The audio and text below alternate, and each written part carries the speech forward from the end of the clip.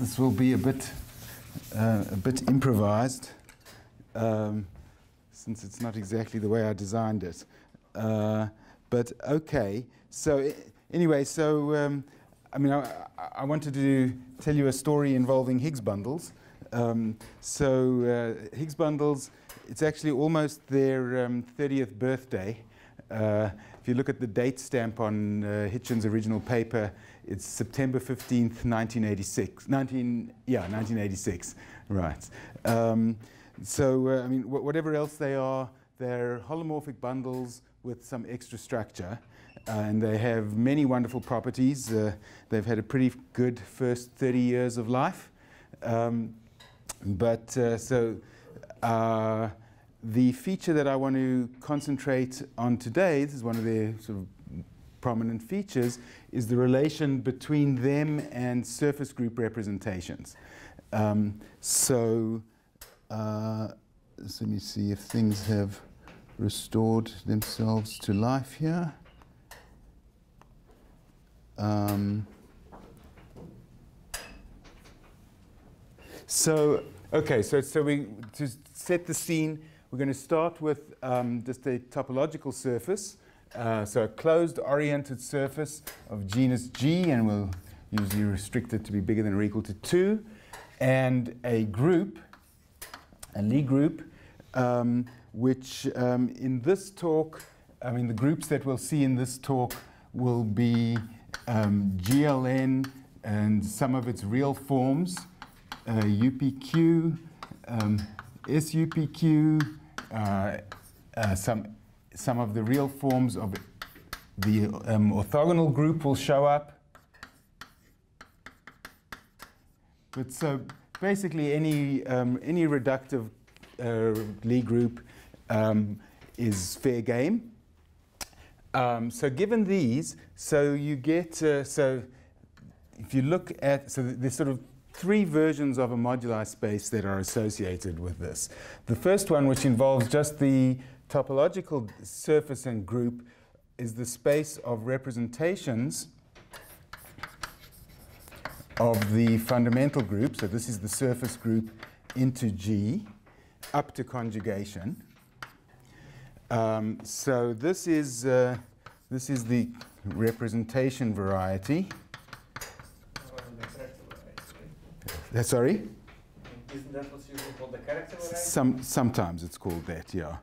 Um, and, uh, but so if this, for, for these groups, I mean, this space before you conjugate is uh, certainly a nice space. It's, um, you know, it lives inside the two G-fold product of G determined by one um, relation coming from uh, the relation defining the fundamental group. But when you quotient, it's not necessarily a nice space. You have to restrict to the reductive representations. If you, uh, if you allow yourself a smooth structure on the surface, then you can relate um, any representation to a uh, principal, a flat principal G bundle on S, a local system determined by the representation. Um, so that corresponds to the flat bundles, the flat principal G bundles on still on S, the relation here is if I give you a flat structure, then the surface group representation you get is determined by the holonomy of that. And uh, that's a sort of a one-to-one -one correspondence between the isomorphism classes of flat reductive bundles and homomorphisms. So this is just the topological data. This needs the data that you need to define connections. Um, and then if you go further and add a complex structure to S, so you turn S into a Riemann surface, so add a complex structure to S, and now I'll call that sigma. Then you can talk about holomorphic bundles on S, and this is when you get the moduli space of Higgs bundles. And this is the space of polystable Higgs bundles. And I'll say more about what these are um, in a minute in the special cases that we're interested in. Um, so, uh, so the, the, I mean, to get to this point, to get to the Higgs bundles, you have to add a whole, you know, a couple layers of structure um, over and above what you have here. But uh, the payoff is that it, all this extra structure gives you new tools that you can use to investigate. I mean, some, certainly the features of this, but then also through this correspondence, the features of um, these spacer representations. So I, I want to um, sort of look at some situations um, where you see how this works and where um, some of the uh, sort of insights that you can see nicely from Higgs bundles are on display. Um, okay, so um, the situations I, that I want to look at are situations where the group G is a real group. Um, and so uh, real forms of, actually it's going to be GLN, um, and I'm really going to focus on UPQ and its adjoint form PUPQ. That's really the one that we'll spend most of our time on. Um, but I just wanted to sort of give you um, sort of um, some inkling of the, some of the features that um, you see that, or that these representation varieties have for these real groups. So there's, this, there's situations where these representation varieties, oh, so I guess I should say the first thing is that um, I mean, one of the features when the group is real is that the representation variety in general has several components. And in fact, determining how many it has is the first, first is the first thing where Higgs bundles have turned out to be quite a useful tool. Um, it has several components and uh, there are cases where these components have special meaning, where they have uh, sort of correspond to geometric structures or where there are interesting things going on. Um, and uh, the uh, sort of features that I wanted to um, focus on here are um, the relation to geometric structures. Actually, this one I won't be able to say too much about, but just a little bit and also the um, appearance of subgroups of G is going to be an important thing. So representations that uh, actually factor through subgroups or somehow or in some other way involve subgroups. Um, so uh, yeah, let me just uh, give you some sort of brief survey. So if we take as our first case SL2R, so that's a nice, simple, real Lie group. Um, so in this case, the representation variety has, has several components, and one of them is a copy of the Teichmuller space of S. So this corresponds to the, to the Fuchsian representations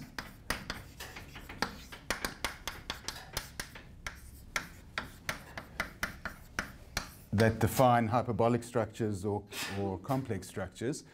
Um, when you uh, identify this with its um, Higgs bundle buddy, um, so then we're living in the moduli space of SL2R Higgs bundles on S with a complex structure, then you can, once you've fixed the complex structure, you can uh, look at the um, holomorphic tangent bundle of this, uh, a cotangent bundle, a canonical bundle, um, and the square of that has, the sections of the square of that are, are quadratic differentials in language that people in this room prefer. Um, and so this, uh, so this, this component that corresponds to Teichmuller space um, is identified with the space of quadratic differentials um, in a nice Higgs bundle way, and this is one of the components in there. So this is a situation where you have nice geometric meaning. Um, if you look at uh, SLNR, so if you go from 2 to n, then um, this component has a nice analog that's uh, called a higher Teichmuller component or a Hitchin component. Um, so when you do this, the no, no, any n. You're not taking. Uh, yeah. And I mean, really, the, the, the requirement on the real form here is that it's a split real form. But it's a, so, for, so for SLN, it can be any n. Um, so this gets replaced um, with a component that I'll call Hitchin. Um, um, and this, uh, so instead of being identified with space of quadratic differentials, is now parameterized by quadratic and higher up to the nth differentials. Um, and this is again a component in the moduli space of Higgs bundles for SLNR. And the feature that I want to highlight about, um, so the, the, the, the, Higgs bundles here, or the corresponding representations, have uh, sort of many um, special interesting properties, but the one that I'll just point out here is that all of these, and this is actually, you can take as the definition of this component, these representations all deform to a representation that comes from a Fuchsian representation composed with an embedding of SL2 into SLN. So this is the irreducible representation of SL2 in dimension n. If you take a Fuchsian representation and compose it with this. So what's the second arrow here? This, this, is, uh, this is the representation of SL2 in dimension n. So it's the irreducible representation of SL2 sitting inside SLN. Uh, so you can think of this as the representation on polynomials of degree n. Polynomials in two variables. N minus 1. Sorry? Degree n minus 1. Polynomials of degree n. Oh, right, right. You just take the n minus first symmetric product of the standard SL2.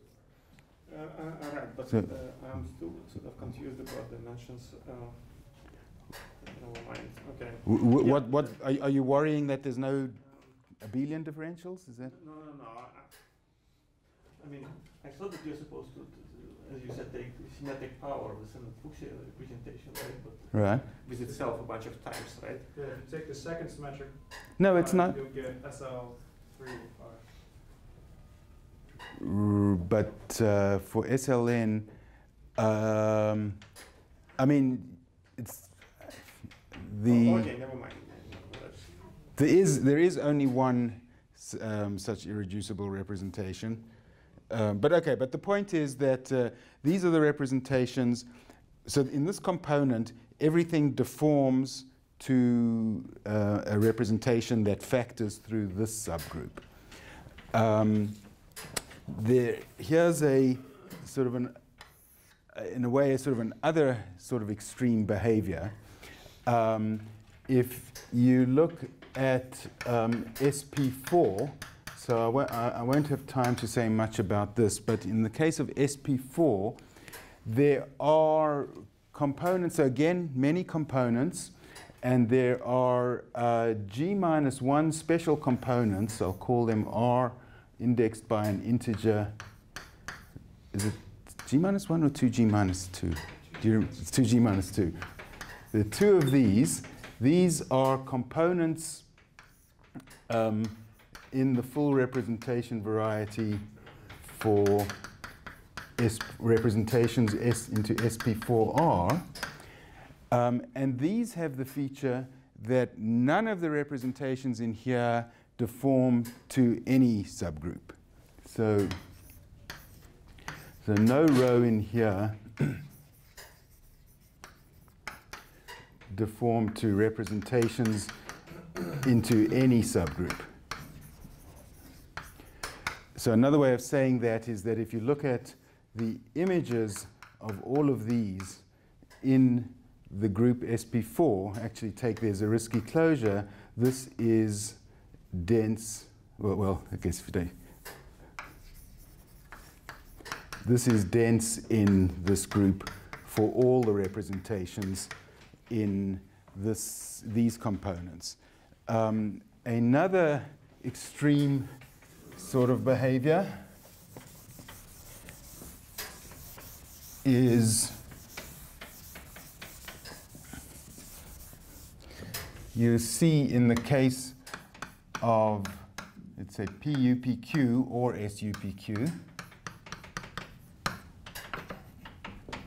with P not equal to Q, so let's say less than Q, just to be definite.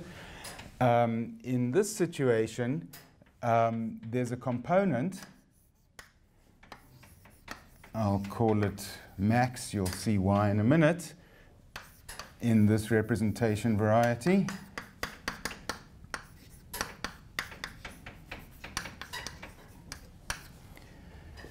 Where,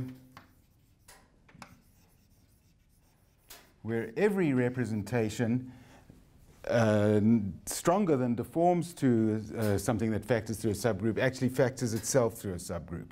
So instead of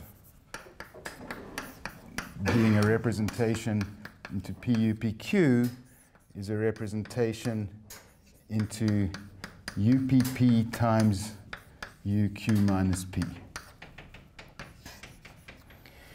So that's a sort of another sort of extreme situation.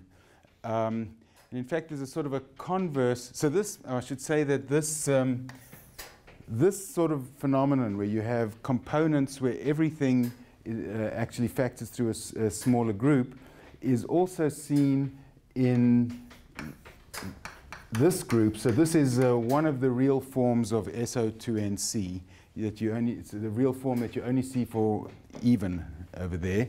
Um, this one also has this feature. Um, uh, what was I going to say about this? Uh, ah, right. And so there's a, there's a sort of a converse to this, um, which is a theorem of Pansu and Kim, I think from 2012, um, which says that the, uh, these are really the only situations where this happens. Um, see, I, I, had I'd formulated a concise version that uh, was what I, what I wanted to say. Ah, right. Um, so um, the theorem says that um, uh, representations um, for so uh, would have been so much easier to have the slide. Um, so, right, so for, um, oh, okay, so this applies to, um, yeah, sorry, let's put it over here.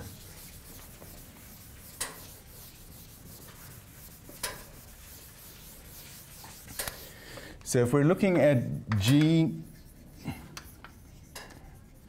a real form of one of the classical groups, SLN, SON, or SP. So if um, real form of this, then um, all representations deform to one whose image is Zariski dense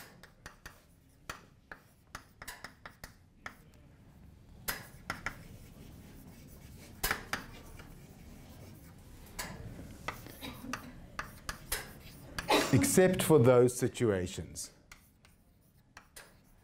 So, except for the um, SUPQ with P less than Q and SO star 2N cases. So these are the ones where they, they live in this special representation that's labeled max.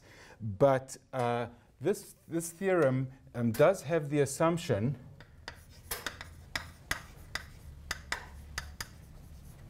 that the genus of the curve is big enough.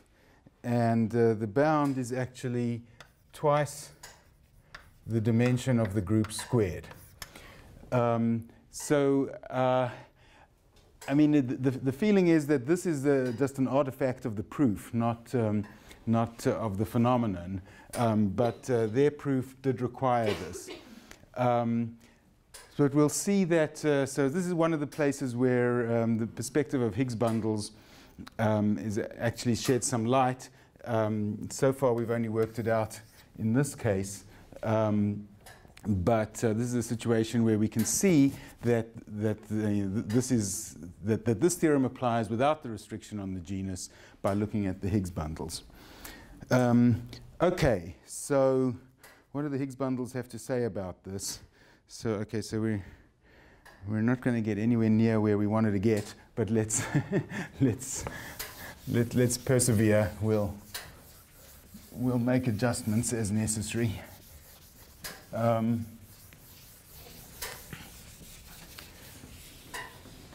okay, so um, rather than try and do things in too general a, form, I'm going to stick with the group UPQ. And uh, from, for the Higgs bundle point of view, it's more convenient to work with UPQ rather than well, certainly rather than PUPQ, the adjoint form of this group, because uh, if we work with this, um, with the full UPQ, um, we can think of this as, uh, so this is a real form of GLP plus QC, and so uh, principal bundles with this group are basically vector bundles, and so we can use vector bundle technology rather than principal bundle technology. Uh, we'll see that it doesn't make much difference uh, from the point of view of understanding the relation with um, surface group representations. So, um, so what's a UPQ Higgs bundle? Um, So viewing it as, uh, viewing UPQ as uh, living inside GLP plus Q, a UPQ Higgs bundle is going to be a, a GLN Higgs bundle with some extra conditions that uh, will allow will, will make it correspond to representations into UPQ rather than into the full GLN. So uh, a GLN Higgs bundle is a holomorphic bundle over our surface, and the surface has now become a sigma. We've fixed a, a, a complex structure. So this is a rank P plus Q holomorphic bundle, uh, together with uh, the extra data, which in this case is a holomorphic map from the bundle to the bundle twisted by the anti-holomorphic, uh, the holomorphic cotangent bundle canonical bundle. Um, so, if the, so that's what it would be if it was a GLN Higgs bundle. To make it a UPQ Higgs bundle, uh, the bundle, I mean, you, yeah, the bundle has to decompose as a rank P and a rank Q. And the Higgs field, with respect to this decomposition, can't be anything. It has to be off diagonal like that. So here the beta is a map from W, the W part of E, to the V part of E twisted by K, and gamma is a map from. So the data defining a UPQ Higgs bundle consists of a pair of bundles, one rank P, one rank Q, a map from W to V and a map from V to W. Um, and uh, I mean, the point about, you know, the rules of the game here are that um, we're constructing objects that are going to correspond to representations of the fundamental group of this thing into UPQ. And so uh, what that's going to mean is th there'll be a way of constructing flat connections here whose holonomy lies in the UPQ subgroup of GLN. Um, from the point of view of the Higgs bundles to define the moduli spaces, uh, the property that's needed is stability. Um, and um, I was going to say something about stability, but really only for one reason. And um, that reason is that, uh, so there's a notion of stability for the bundle, which corresponds to the corresponds on the one hand to the condition, okay, so let's just say this much. On the one hand, it's, it's the condition that you need to define a moduli space.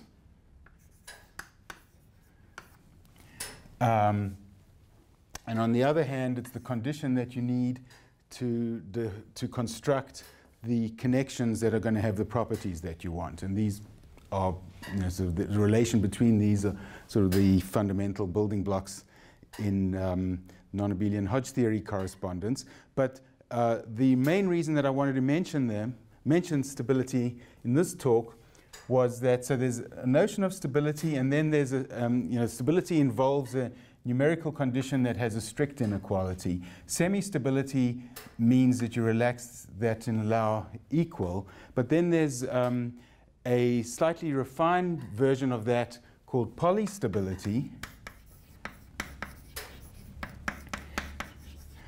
which means that the bundle is semi-stable and reduces. So uh, in this situation, that means that our UPQ Higgs bundle uh, decomposes into a sum of Higgs bundles,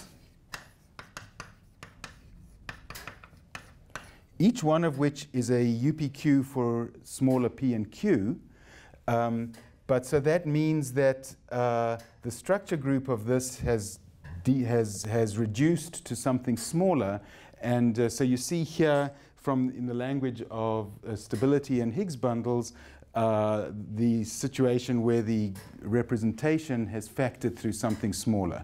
So the, uh, the points in the moduli space corresponding to the polystable objects is the Higgs bundle version of um, uh, representations in the representation variety that factor through a subgroup. Um, so maybe I'll leave it at, at that. Um, and uh, say that, okay, so uh, stability, I, I didn't fill in the thing here. Connections holonomy in UPQ. Um, okay, so one of the tools that we have for seeing these phenomena and investigating the components of the representation variety? Um, so there were two that uh, I was going to talk about. So the one yeah, was stability, and the other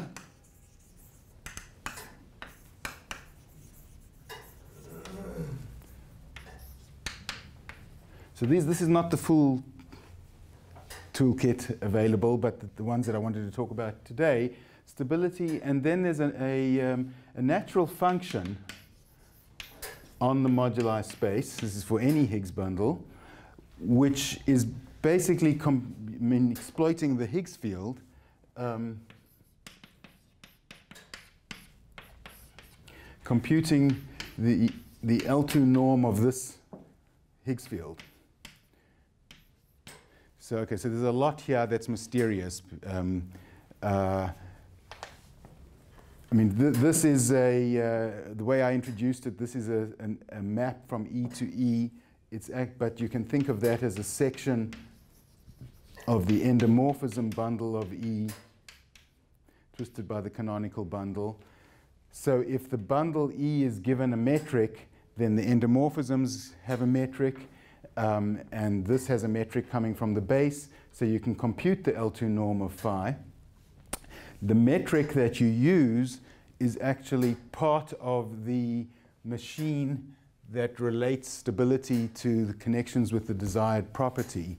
Um, and they're, um, I mean, the, the, uh, the uh, result that's used here is that if the bundle is, if the Higgs bundle is stable, then it has a special metric that does the job that you want.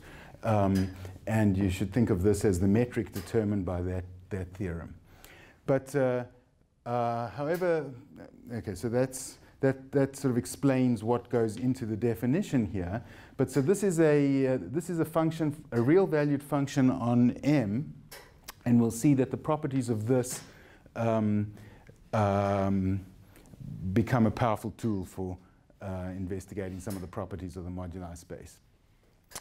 Um, okay, so let's see. Um, maybe I'll go straight to the um, what you can do with this function, since there isn't there isn't time to do everything that I was going to do in the slides. Um, okay, so um, what can you do with this function? So the, the important properties of this function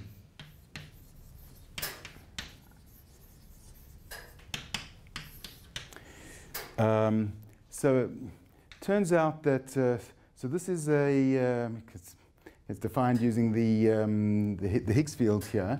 The uh, moduli space has um, a very natural action of the circle or even of C star, which involves just scaling the Higgs field. Um, if you restrict that to the circle, just scaling this by a complex number norm 1, uh, turns out that this map is actually a moment map for that action. So if is a symplectic moment map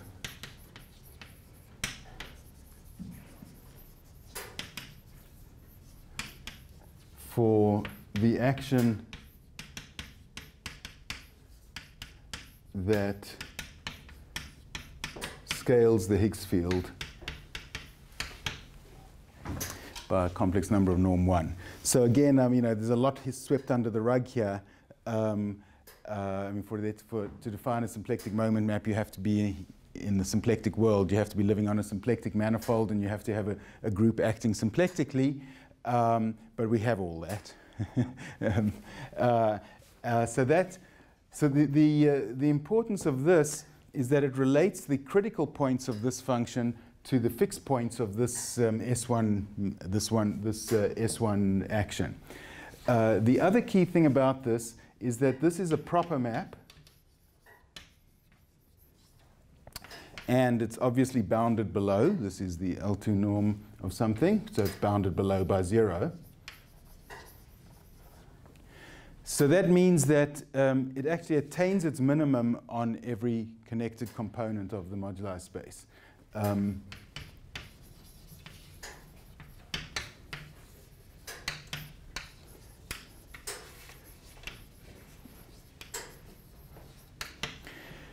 so if you want to um, count the components, uh, a good place to look for information is um, in the minima of this function. Uh, so the minima are included amongst the, the, critical points. The critical points you get information from, from that fact. Um, and that allows you to identify the minima. Um, and so this is a, a tool for investigating components. And so I'll sort of summarize what you find for UPQ.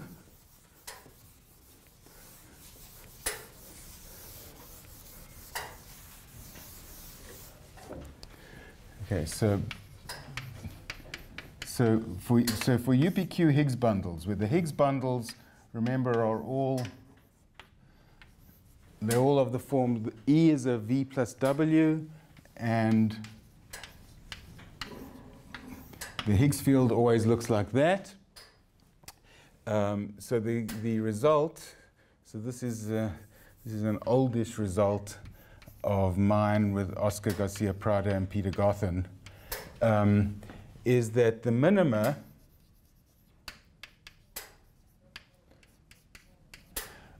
are given by the Higgs bundles like this, where one or other of these is zero which one it is depends on the uh, invariance of these bundles. These have ranks and they have degrees.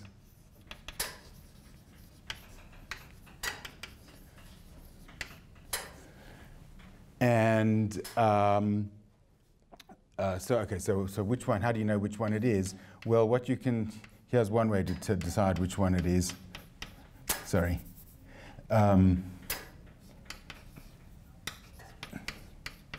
the, this function uh, can be written in two ways.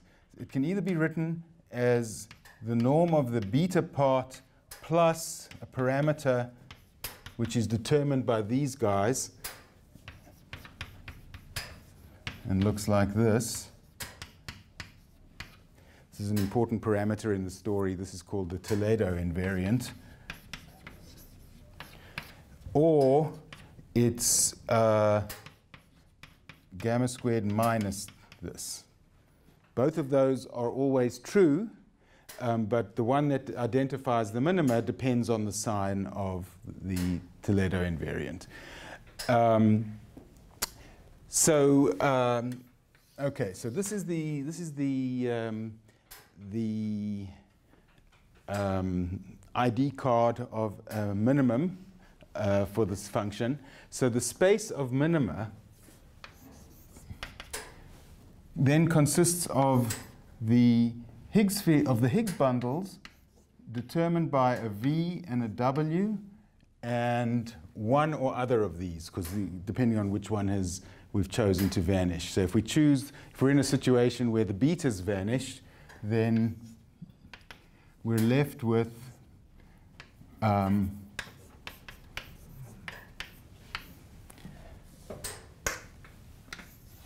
that information defining the, the minima. Um, so what can we say about these sorts of things? So, I mean, understanding the connected components then comes down to understanding these guys. Um, well, these, this sort of information, two bundles and a map between them, defines an object that has a moduli space in its own right. Um, so these are, in, this is an example of um, data that consists of two bundles and a map between them. Actually, if I'm writing it this way, uh, yeah, that's okay. For historical reasons, we write the maps from two to one. Don't, don't worry about it. But uh, it means, so this is pairing up. So here, and if we're doing it this way, then E1 is actually WK, E2 is V, and the Higgs field is the gamma. So this is an so the, the space of minima is a space of objects like this so this is a holomorphic triple. It's also an example of bundles and maps associated to a quiver diagram, where in this case the quiver diagram is a vertex for each of the bundles and one arrow for one map. Um, so this puts these in this world of moduli spaces for quivers. But the, uh, the crucial thing here is that um, there, is, there is a good moduli space problem for this. It depends on a notion of stability, but now the stability involves a parameter. So this has actually a family of moduli spaces.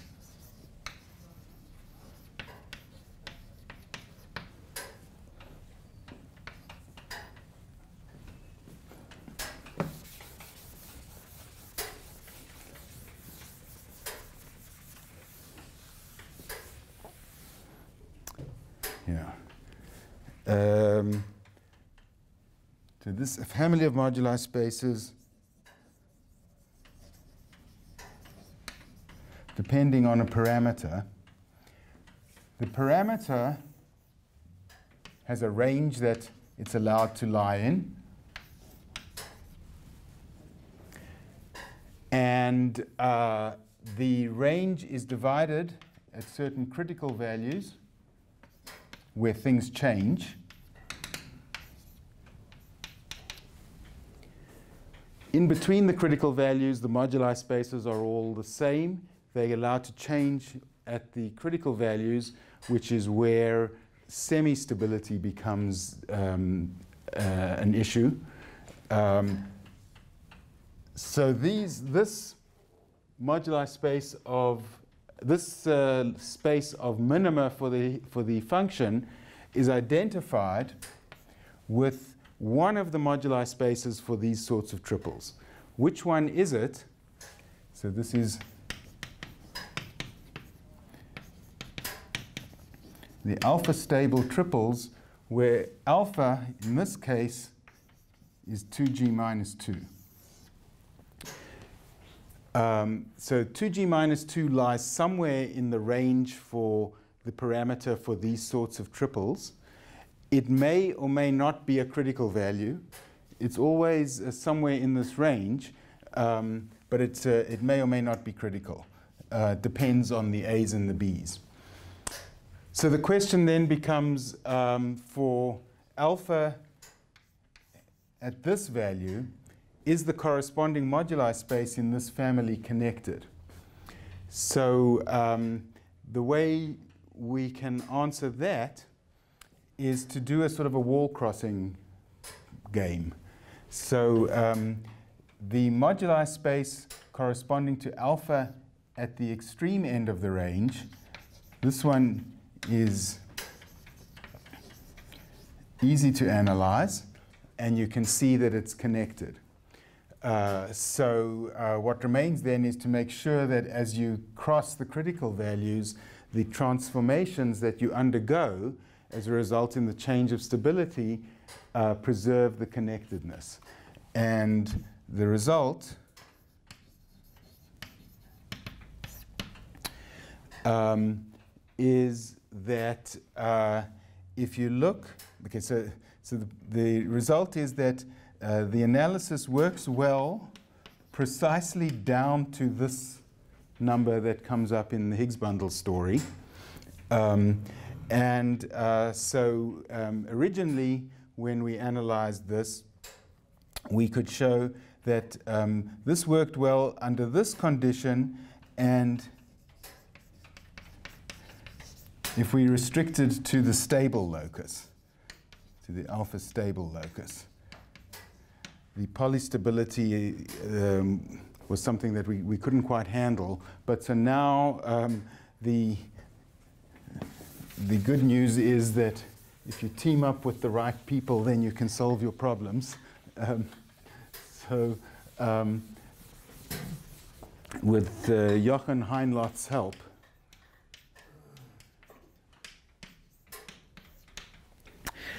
Um, so the, the so the proposition is that if alpha is bigger than this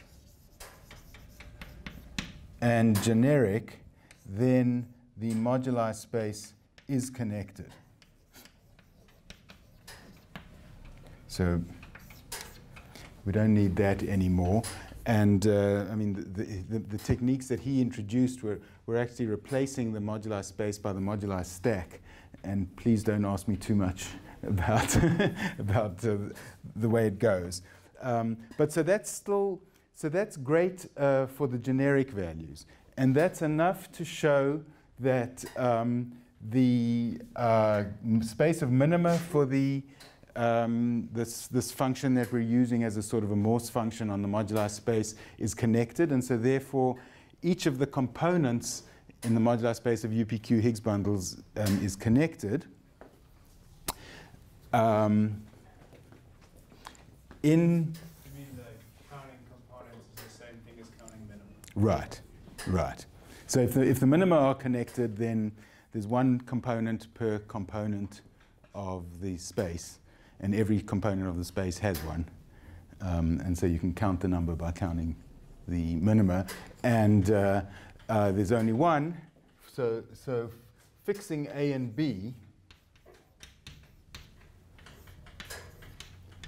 um, this shows that this whole space is connected um, provided this is generic. So what happens if this is not generic? Um, so if this is not generic, turns out that that's still okay, um, but uh, you have to do something else. Um, darn. This is what I was hoping. To, all right. So what? So what you do? So if it's not generic, um, so uh, that means it's a critical value. So this is a critical value, but the number of critical values is discrete. So if we move just a little bit above here, so if we go to alpha plus epsilon, this is generic. So we know that the moduli space at this value is connected.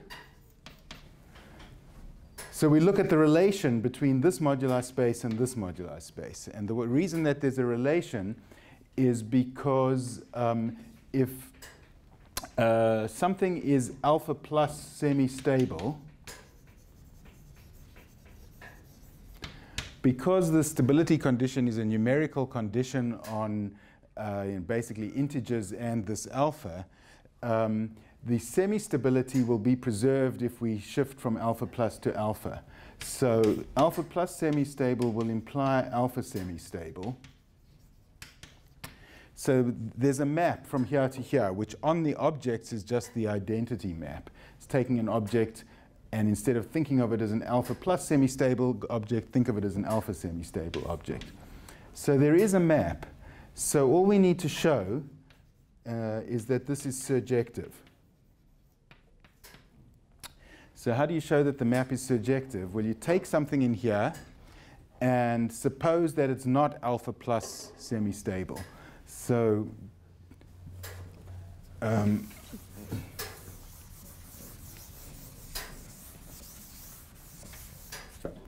so if you have a, um, an object, this is a holomorphic triple, let's just call it T, which is alpha semi-stable but alpha plus unstable. So it doesn't, so we're sort of proving, working by contradiction here. Then uh, if it's alpha plus unstable, then it'll have a maximally destabilizing subobject, which will give you a handle on this, on, on this triple. So there will be something that is a subtriple, which is the most unstable uh, part of this. So this is uh, the version for triples of constructing Harder-Narasimhan filtrations for bundles. Um, and the key thing is that uh, if we're in the, in the good range, where alpha is uh, not smaller than 2g minus 2, then we can construct a new object switching the roles of the sub-object and the quotient object.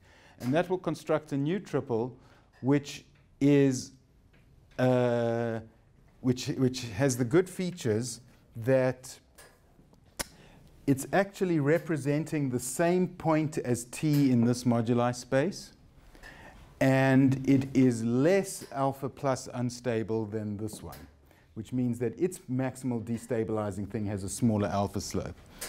Um, so e either this will be alpha plus stable, or I mean semi-stable, or you can iterate this procedure.